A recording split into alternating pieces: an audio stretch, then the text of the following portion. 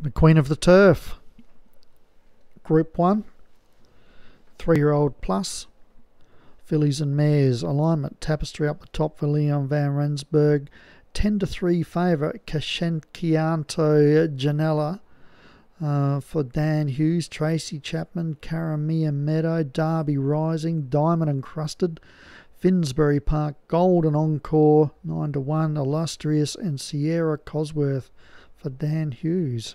9 to 2.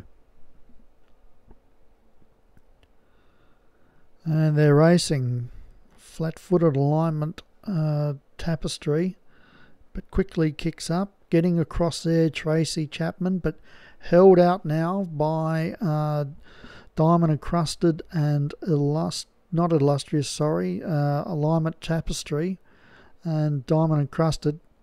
So now Tracy Chapman puts the nose in front and is sitting uh, two off the fence and goes forward and should find the rails and hold the lead. Out wide on a track, Sierra Cosworth, diamond encrusted, as Tracy Chapman joins the fence.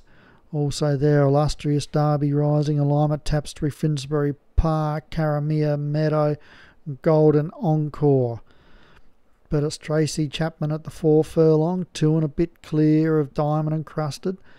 Cascentiano Janella is third, the pre-race favourite. And then they're spread across the track there. Number four is out wide, uh, Meadow, and is now last. As they round the home turn here in the Queen of the Turf, and as Tracy Chapman still leads from Cascentiano Janella.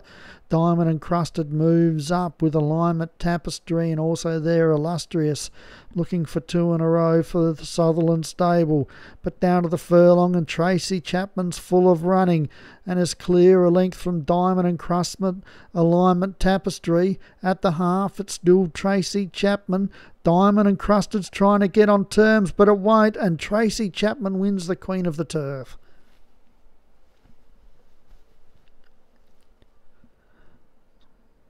And another horse that's basically led all the way. So that's, that's that theory in the forums that leaders can't win. So we've had two Group 1 winners that have pretty much led all the way, and Tracy Chapman has done it. For Ryan Tamasebi, second diamond encrusted Paul Rhodes, third alignment tapestry Leon Van Rensburg, fourth uh, Cascentiano Janella for Dan Hughes, which was the favourite, and fifth Finsbury Park for D. Thompson.